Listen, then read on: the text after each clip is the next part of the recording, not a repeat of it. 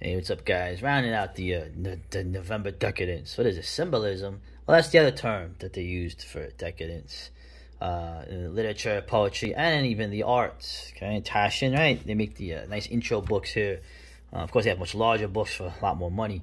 But uh, this is a pretty interesting one in terms of not just a sample of art. I mean, they go over, of course, you know, the people that were before, like the pre-Raphaelites and guys like Goya. And they also show like how, you know, even into the 20th century, you had, uh, you know, symbolism, uh, the whole idea of the decadence, right? The, uh, the kind of dreamlike imagery, I would argue, of course, what I always say, right? The pagan reflex.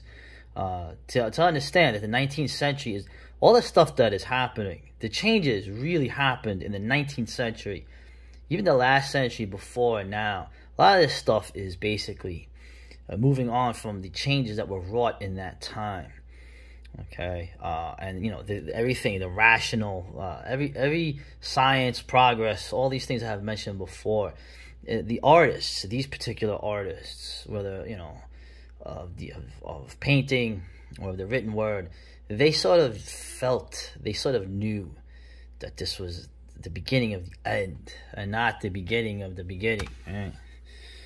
Anyway, the book is good in terms of the writer. I think it's a woman. Look, there's uh, there's that. Uh, yeah, Redon with the uh, Cyclops. Right?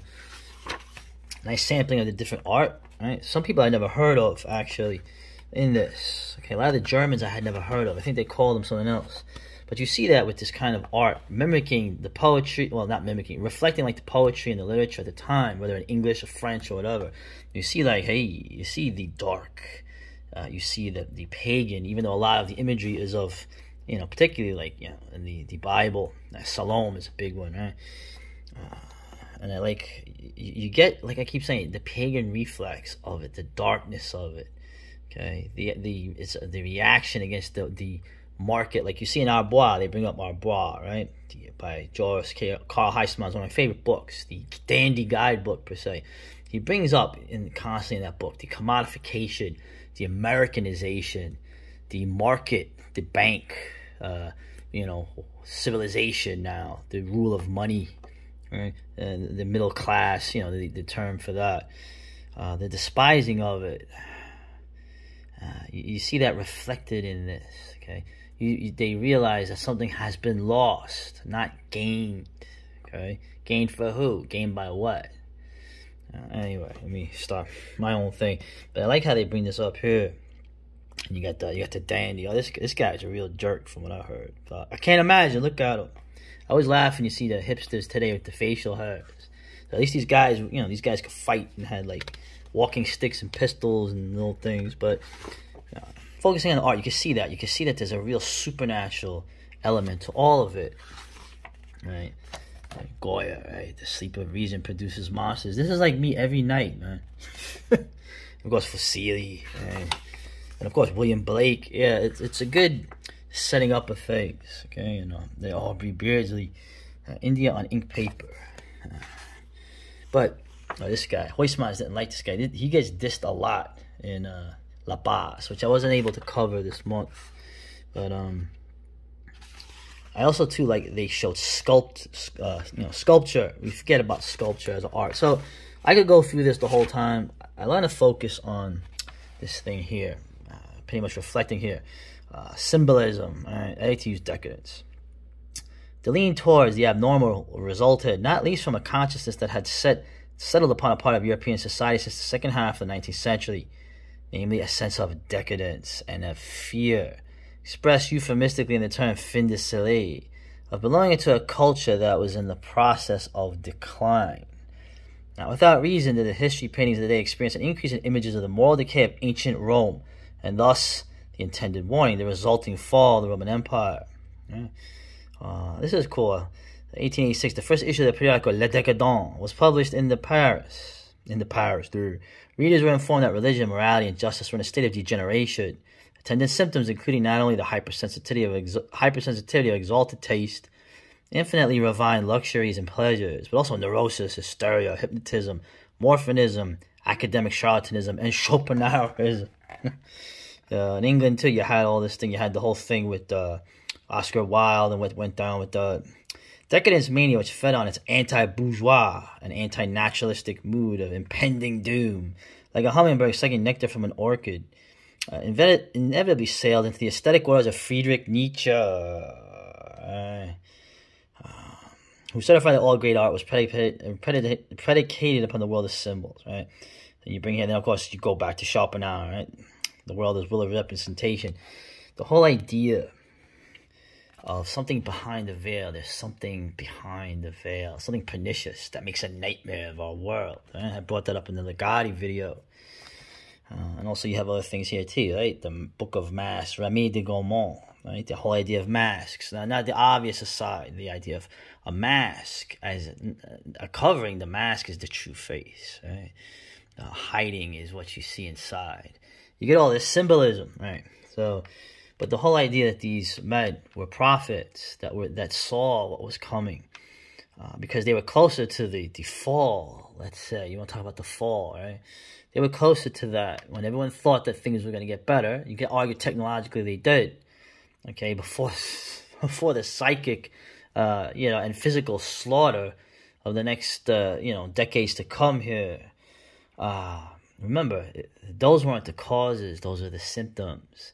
And what you have today, frequently, is a confusing, and I'll say it again, a confusing of symptoms for causes. Okay, which renders any kind of thing to try to conserve anything, which is ridiculous anyway. But uh, it doesn't work. They can't conserve anything because you can't. Okay, you want to get a little supernatural. All this stuff that's happening then and now had to happen, has to happen. You don't stop decline. Okay, you have things have to go to their end, and then something new comes out. So all these things are necessary. The things that we think are horrific. Uh, it sucks that we live in that time. Okay, but that's what you are. You you live and exist in the time you do. Um, if there's immortal things, which I believe there are, okay, I'm not an atheist. Uh, what they are is always a mystery. Some people don't think it's a mystery. But it's reflected in this, okay? The pagan reflex, but also there's a lot of Christian imagery too, because the whole idea is not even, you know, in the end, Christian, pagan, whatever. Uh, it's all, do you believe in something beyond time and space? Okay, or do you acknowledge that there could be something beyond time and space that you may not understand? Okay, whatever the origins of the secular modernism is, you know my Nietzschean view or not. The bottom line is to believe there's nothing, is to invite anything in. And essentially, you've seen that. So, enough of that pontificating. Interesting things here. Look at that. That looks like a cool, like black metal like art. And, uh, oh, hey, I don't remember. The Temptation of St. Anthony. I was trying to remember this scene in uh, that Flaubert uh, story. And uh, ah, the, the pre-Raphaelites, like Swinburne, who I had done the poetry of, was sort of more associated with that. This artist here, John Everett Millais, he drew one of my favorite paintings, but I'll get to that at some other point. Other notables here, Böcklin, right? The Isle of the Dead. They made a movie of this with this as a set, you know, as inspiration. The Boris Karloff film, one of those RKO movies. You know, uh, Jan Toorop, I remember this. Very Asian uh, like Japanese influence. And uh, other notable things here. You know, that's interesting. This guy here, James Ensor. This dude uh, drew a lot of a lot of his stuff dealt with masks, Belgian painter, right? Monstrous apparitions, right? Uh, his stuff is creepy, man.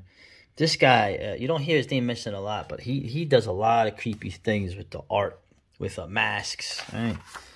And this is cool. I never heard of this guy, Mysteriarch. Right? This uh, sculpture. Right? This Böcklin again, the head of Medusa. Okay? All, all things aside, remember uh, Medusa, her head represented what? It represented wisdom. Right? And the snakes also in the ancient world, or in, in, the East, the snake was not this fearsome, tempting creature. It was a creature of wisdom. Interesting, huh? Don't you want to go with that? Anyway, great book. Oof, man. Max Klinger. And um, this a good thing. A lot of guys I never knew about, like this dude. He draws like these really creepy looking chicks here. And uh, of course, he's also a pre-Raphaelite here, Rossetti. Uh, that was cool. That looks like a black metal album cover.